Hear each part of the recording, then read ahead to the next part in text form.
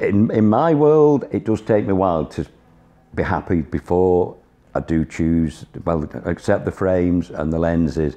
I've recommended some friends that come here, two in particular, they come in, they see a frame, that'll do them. The process of the eye test, they're more than happy with, and within a fortnight or less, you're wearing your new frames. What I like about coming to Paul is that once I've actually selected the frames, I've had my eye test, that once I've had the glasses fitted, I can go home and if I'm not quite sure if they're right, the way the glasses fit, I can come down and hopefully in between other appointments of people, Paul will sort me out.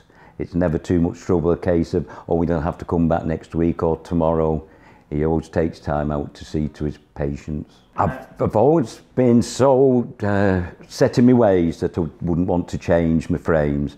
And then Paul will say, try this on, try that. And then because I need uh, glasses to see the frames, I'm never quite sure. But I've never yet sort of been sold frames that I've had made up and gone home and thought, oh, I shouldn't have bought those. So Paul and his staff are so professional in the choice that they can give us. And they know what frames suit us, where basically I haven't got a clue.